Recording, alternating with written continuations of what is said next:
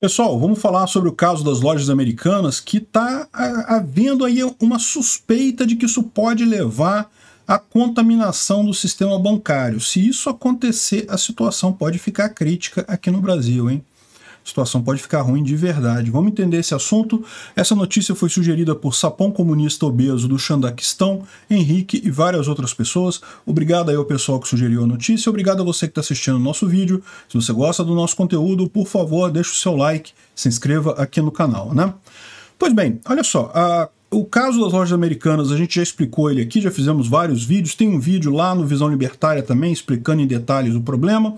É, o fato é, de uma hora para outra, descobriram uma, um déficit enorme, uma, uma, dívida enorme de 40 bilhões de dólares que eles não têm como pagar, 40 bilhões de reais que eles não têm como pagar. E uh, tudo é muito suspeito, porque teve ações de diretores vendendo ações ano passado. Uh, enfim, muito suspeito de que muita gente ele já sabia do problema e ficou segurando a coisa para explodir a bomba agora é, justamente esperando um governo Lula mais favorável para passar a mão na cabeça das americanas, é uma possibilidade isso. Enfim, é, esse pessoal, isso, o, o problema é muito sério, né? Só que tem saído, é, algumas consequências disso têm acontecido, né? Algumas consequências são esperadas. Então, por exemplo, é, infelizmente, né, comunicado a funcionários americanas já falam em demissões.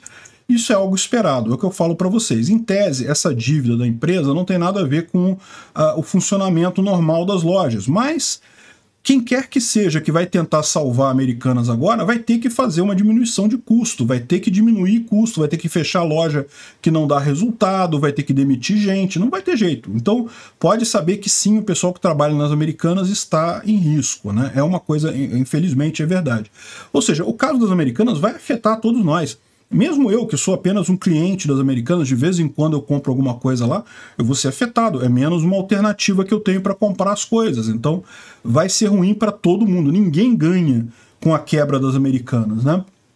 Já estão começando a surgir, por exemplo, lojista da Americanas cobrando um preço para não vender na rede, aumentando o preço das coisas para não vender na rede. Eu não tenho certeza se eu entendi exatamente o que diz essa reportagem aqui, tá? O que eu estou entendendo, porque eu tem as Americanas loja física e tem Americanas.com, né? E na Americanas.com tem um monte de gente que vende através do canal da Americanas. Então a pessoa é uma outra loja, uma outra empresa, mas que vende através do canal da Americanas. E esse pessoal estaria, pelo que eu entendi, foi isso que eu, fui, que eu entendi dessa notícia, não tenho certeza, mas esse pessoal estaria aumentando o preço justamente para não vender. Por quê? Porque eles não podem parar de vender as coisas na Americanas por, é, porque seria quebra de contrato. Por outro lado, se eles vendem alguma coisa, eles estão com risco de não receber isso das americanas, né? Imagina, você faz uma venda pela, pelo sistema da americanas.com e não recebe o dinheiro da Americanas. É uma coisa meio complicada isso daí, né? Então o pessoal está colocando o preço lá em cima justamente para evitar vender as coisas lá. E isso daí é uma coisa que é, é, é fim de carreira, né? Porque o que, que vai acontecer? Ninguém mais vai comprar as coisas da Americanas porque os preços estão caros. É, eu espero que eles consigam uma forma de reverter isso daí, mas é, pode significar realmente essa espiral aí de, uh, de falência, né? E, além disso, a outra novidade que tem nesse caso é que o Sérgio Rial, que era o CEO, ficou por CEO por 10, 12 dias na Americanas, né? ele assumiu no dia 1 de janeiro, no dia 11 ele soltou o fato relevante, avisou do problema e pediu demissão imediatamente. E aí muita gente está falando assim, ah, ele foi surpreendido com o fato, ele entrou ali, viu as coisas, ficou, oh, meu Deus do céu, não pode, vou sair. Mas o que o pessoal está lembrando é que ele foi anunciado, na verdade, lá em outubro. Então, nesse, nesse período todo, entre outubro e o dia 1 de janeiro, ele estava justamente se inteirando de como é que estavam as lojas americanas. E ele provavelmente sabia já dessas coisas, não tinha como ele não saber, né? Ele foi só colocado ali para dar a martelada final da coisa, pelo visto. Mas é realmente preocupante. Parece que a impressão que dá, eu não sei, não tem como acusar ninguém de nada, mas a impressão que dá para quem olha de fora é que isso foi tudo um plano extremamente bem planejado, né? inclusive para arrebentar o negócio no governo Lula, onde eles esperam a ajuda do governo para manter as lojas americanas. No governo Bolsonaro, o Bolsonaro não ia fazer nada, né? Então fizeram tudo, toda a maracutaia para acontecer dessa forma, e isso acabou prejudicando muita gente. Então, E como ficou essa coisa meio estranha para o Sérgio Rial, ele acabou saindo do cargo de conselho do Santander Brasil. Porque a gente vai ver o Santander Brasil é um dos bancos prejudicados por essa questão das lojas americanas. Né? E, e bom, é nesse ponto que eu quero chegar. Uh, vamos supor, eu espero que não aconteça, mas vamos supor que as lojas americanas quebrem, vão à falência muito ruim, triste. Pô, eu, como consumidor, não vou ter mais onde comprar. As pessoas que trabalham lá podem perder seus empregos. É uma coisa triste para um monte de gente. Mas para aí, assim, em tese, para a maior parte do Brasil, não vai acontecer grandes coisas. Mesmo para mim, que sou consumidor, é ruim, porque eu não vou poder comprar mais lá, mas não é como se fosse alguma coisa que fizesse uma diferença enorme na minha vida. Então, assim, é uma coisa ruim, trágica e coisa e tal, mas é gerenciável. Agora, existe um outro problema que é o que eu estou falando aqui para vocês. Né? O Santander Brasil, o Real saiu de lá porque o Santander Brasil foi um dos afetados. Se você olhar aqui, ó, é, bancos que devem, que têm exposição às americanas, que na verdade, ou seja, são credores às americanas. As americanas devem dinheiro a esses bancos.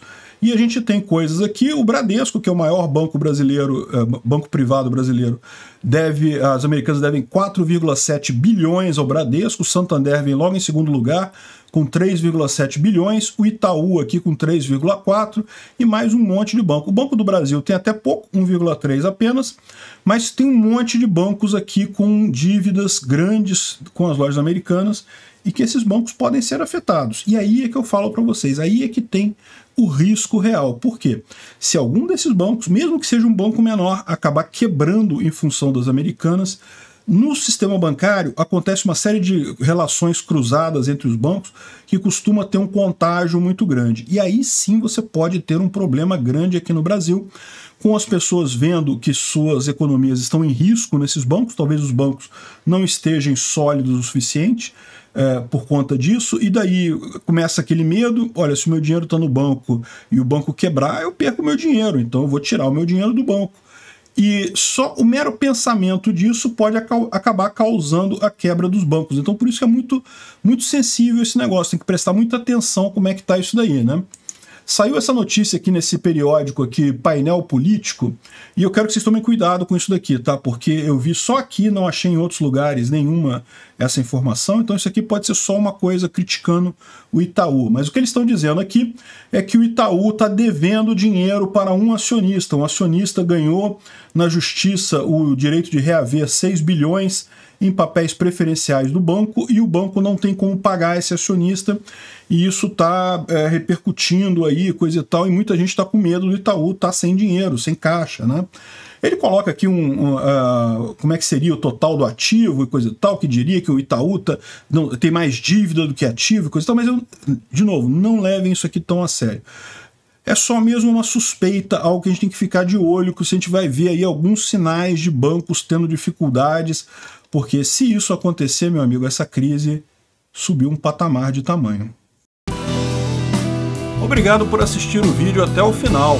Além de curtir, compartilhar e se inscrever no canal, considere se tornar patrocinador com valores a partir de R$ 1,99. Clique no botão Seja Membro abaixo para saber as condições e vantagens de patrocinar o canal. Mais informações sobre o nosso projeto, visite nossos sites indicados na tela.